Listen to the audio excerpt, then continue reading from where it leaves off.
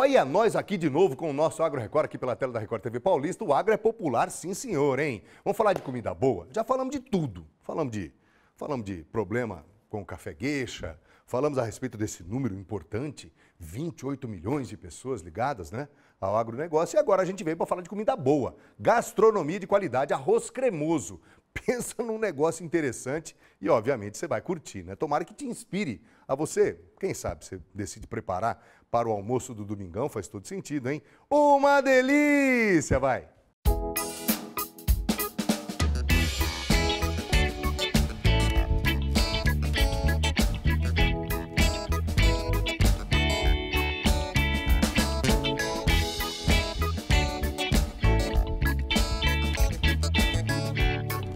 Receita do agro de hoje, direto do Orango Mango, gente. Já passou por aqui diversas vezes, agora está de volta. E você que já viu, sabe que esse é um restaurante especializado, gente, em plantas. É, muitas das receitas estão baseadas nelas. E a gente hoje vai curtir um arroz cremoso com vegetais. Quem vai explicar tudinho é a chefe Érica Morandi. Obrigada por estar aqui com a gente, viu? Eu quem agradeço o convite mais uma vez em fazer parte do agro agro. E é o seguinte, tem aquele arroz que sobrou do almoço, preciso reaproveitar. Ah, o que, que eu posso fazer de criativo, Érica?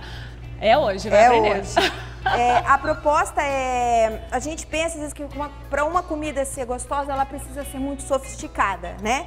Então a gente vai mostrar que não precisa ser sofisticada e que o que vale muito é a criatividade é em olhar o que a gente tem dentro de casa e ali fazer uma transformação.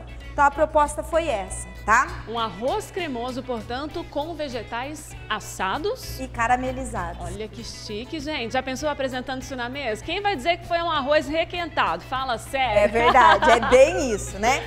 E já que a gente trabalha com essa proposta da sustentabilidade, a gente repensa muitos pratos, aquilo que a gente tem para poder ir fazendo uma uma composição que agrade a todos, né? Vamos então para a receita. O que, que a gente vai precisar? Então aqui eu tenho o arroz, a cabotiã, né?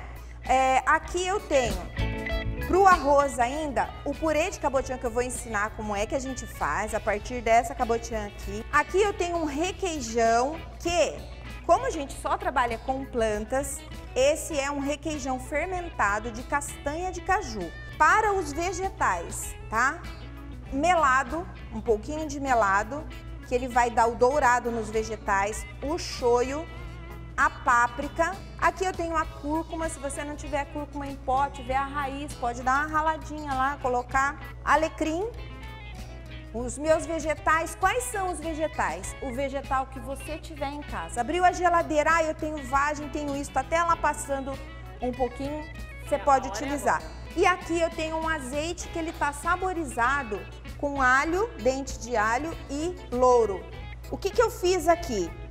Eu coloquei para assar, né? Aqui ainda ela tá um pouco mais consistente, porque ela só foi para cortar, tá? O ponto que eu deixei ela, esses 10, 15 minutos no micro-ondas, foi só o ponto de cortar. Nesse caso aqui, como eu quero um purê, eu preciso deixar ela mais molinha, tá? E aí eu vou processar. Tira aqui a casca e leva para o forno para assar com temperos em cima, tá? Põe na, na bandejinha e leva para assar, ok?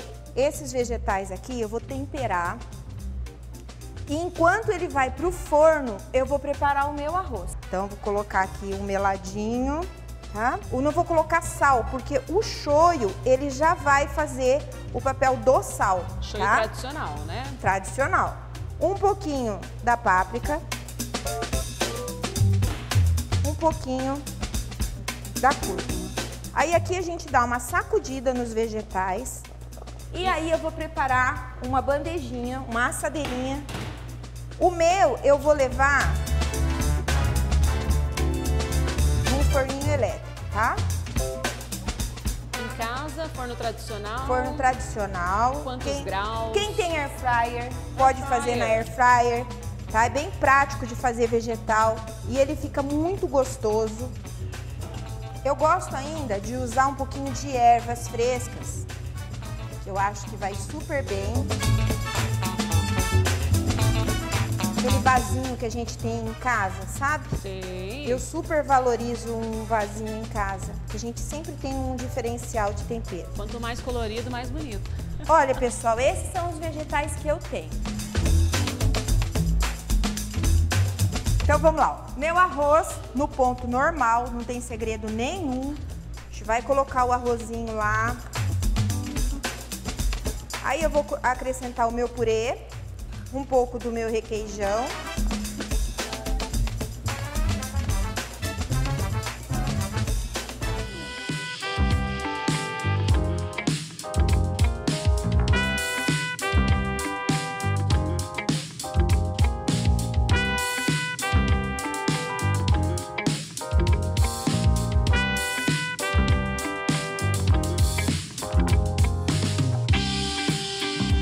Hora de provar o nosso arroz cremoso com vegetais assados e caramelizados. Coisa bonita. A Érica caprichou na produção, na apresentação. E agora eu vou encarregada sozinha, é isso mesmo, desse momento, Érica? Agora é sua vez. Você já, já comeu hoje? Eu já almocei Então ele. tá bom, vambora. Vou nesse, nessa missão difícil aqui. Primeiro o arroz. Vamos lá, segura aqui pra mim, Érica. Primeiro arroz, gente. Vamos sentir. Vem comigo.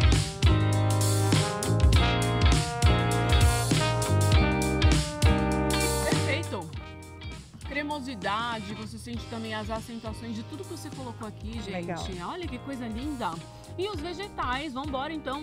Eu vou escolher aqui a beterraba.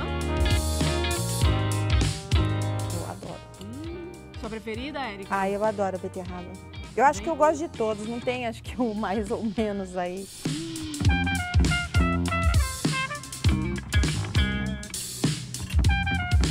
Fala, Colim, fala. Uma delícia, que coisa boa.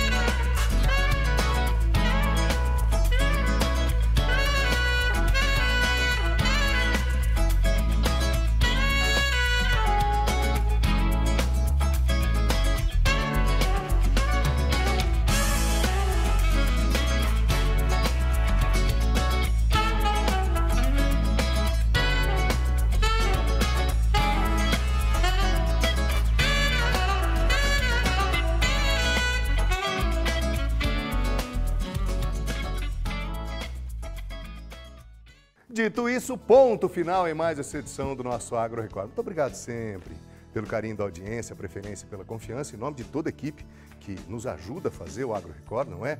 A gente se vê ao longo de toda a semana, no Balanço Geral, no Esporte Record Interior, mas especialmente no próximo domingo para mais uma edição do nosso Agro Record. Tchau, pessoal. Até sempre.